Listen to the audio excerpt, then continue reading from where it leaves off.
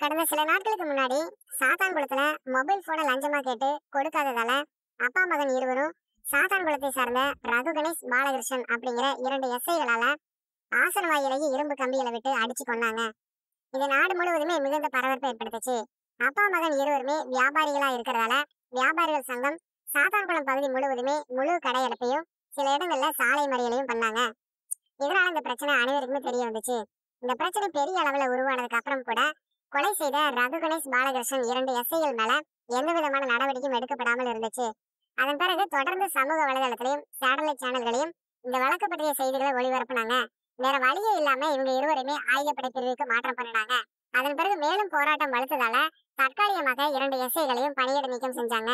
இந்த கொலை குற்றம் செஞ்ச இரண்டு எஸ்ஐகள் மேலையும் இவர்களுக்கு உடனடியாக இருந்த காவல் நிலையத்தில் இருக்கக்கூடிய எட்டு காவல்துறை அதிகாரிகள் மேலையும் உயிர் போகும் தருவாயில் இருக்கக்கூடிய குற்றவாளிகளுக்கு முழு ஃபிட்னஸ் கொடுத்த மருத்துவர்களையும் இது எதையுமே கண்டுகொள்ளாம பதினஞ்சு நாட்கள் ரிமாண்ட் செய்த மேஜிஸ்ட்ரேட் நீதி அரசரையும் இந்த குற்றத்துல முக்கிய குற்றவாளிகளை கருதி கொலை குற்றம் பதிவு செய்யணும் அப்படின்னு தொடர்ந்து குரல் எழுப்பிட்டு வராங்க. மக்கள் கொஞ்ச நாள் தான் இந்த பிரச்சனையில ரொம்ப ஆவேசமாக இருப்பாங்க. பாதிக்கப்பட்ட குடும்பங்களுக்கு இழப்பீடு தொகை கொடுத்துட்டா மக்கள் அமைதியாயிருவாங்க அப்படின்னு அரசியல் அதிகாரிகளும் அரசியல்வாதிகளும் நினைக்கிறாங்க. தற்போது அப்பா மகன் கொலை செய்யப்பட்டு ஒரு வாரங்கள் கடந்த நிலையிலும் கூட அந்த இரண்டு கொலை குற்றவாளிகளும் கைது செய்யப்படாமலேயே இருக்கிறாங்க. இந்த ஒரு விஷயத்திலேயே இந்த அரசும் அதிகாரிகளும் இந்த கொலை குற்றவாளியை காப்பாற்றுவதற்கு எவ்வளவு முயற்சியை எடுத்துட்டு வராங்க அப்படிங்கிறது வெளிப்படையாகவே தெரியுது.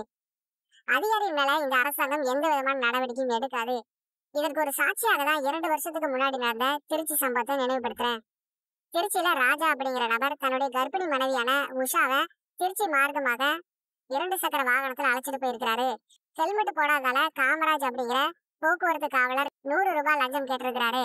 அந்த நூறு ரூபாய் லஞ்சம் கொடுக்காதால ஆக்ரோஷத்தோட கர்ப்பிணி மனைவியோட இரண்டு சக்கர வாகனத்துல போயிட்டு இருந்தவரை எட்டி உதச்சு அதுல மனைவி நிலைத்தட்டு மாதிரி கீழே விழுந்து தலையில பலமாக அடிபட்டு திருச்சி அரசு மருத்துவமனையில் அனுமதிக்கப்பட்டு சிகிச்சை பலன் இல்லாம மரணம் அடைஞ்சாங்க.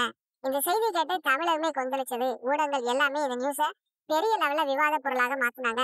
அதன் பிறகு வேற வழியே இல்லாம போக்குவரத்து காவல்துறை அதிகாரியான எஸ். ஐ. காமராஜ தற்காலிகமாக பணியிட நீக்கம் செஞ்சாங்க. அதுக்கப்புறம் ராஜாவுடைய குடும்பம் எப்படி இருக்கு? இந்த காவலர் காமராஜர் எப்படி இருக்காருன்னு யாருக்காவது தெரியுமா?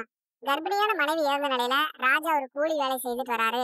தனது மனைவியை நினைத்து வாழ்க்கையை முழுவதுமே ஓட்டிட்டு இருக்கிறாரு. முழு இழப்புமே இந்த ஒரு குடும்பத்திற்கு மட்டும்தான்.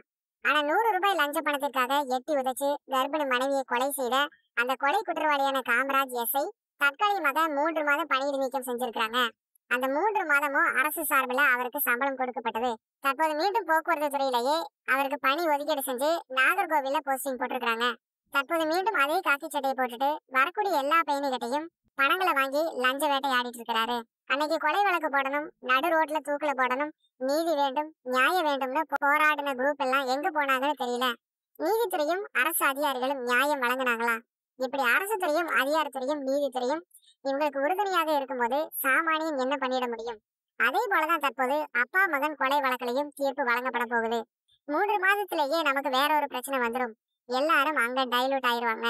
எப்ப பணம் வாங்குறதை நிறுத்திட்டு சுய சிந்தனையோட சுய அறிவோட ஓட்டு போட்டு ஒருவர் ஆட்சியில் அமர வைக்கிறோமோ அன்னைக்குதான் இந்த சாமானியன் மேல தன்னுடைய அதிகாரத்தை செலுத்தி அவர் அடிப்படையை வைக்க வேண்டும் அப்படிங்கிற எண்ணம் இருக்கக்கூடிய அதிகாரிகளுடைய சிந்தனைகளுக்கு ஒரு முற்றுப்புள்ளி வைக்க முடியும். அதுவரை இது தொடர்கதையாக தான் இருக்கும். ஒவ்வொரு முறையும் இது மாதிரி சம்பவங்கள் நடக்கும்போது போராட்டங்களும் ஆர்ப்பாட்டங்களும் நடத்திட்டு போவோமே ஒழிய இதற்கு நிரந்தர தீர்வு கிடைக்கவே கிடைக்காது. ஒவ்வொரு குடும்பத்திலேயும் ஒரு தவறான அதிகாரி அவருடைய வேலையை காட்டும் போதுதான் இதனுடைய வழியை ஒவ்வொரு நபருமே உணர முடியும். அப்போதுதான் இந்த அரசியல்வாதிகளுக்கும் அதிகாரிகளுக்கும் முழு விடிவுகாலம் பிறக்கும். இருங்க. போறதுக்கு முன்னாடி இது மாதிரி வீடியோஸ் ரெகுலரா பார்க்கணும்னா சப்ஸ்கிரைப் பண்ணுங்க. அதுக்கு கீழே இருக்கிற சப்ஸ்கிரைப் பட்டனை கிளிக் பண்ணுங்க.